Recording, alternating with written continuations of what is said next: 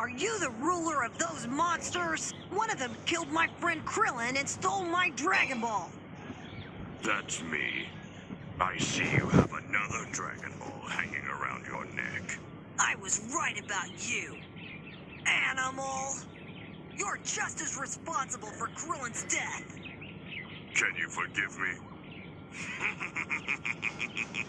you are unbelievable.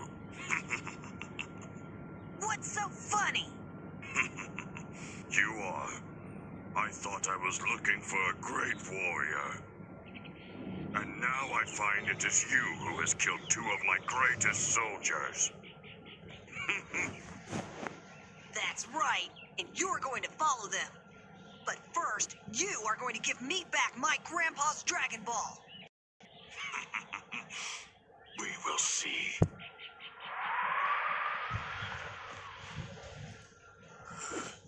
That face. He, he looks mean. It must be King Piccolo. He's come to destroy us. you poor simpleton. You don't have a single clue who I am, do you? I am the abomination that haunts your nightmares. Soon you will call me master.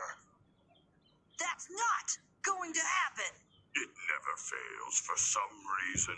Every time I meet a martial artist, I have this incredible urge to destroy them, even one as tiny and pathetic as you.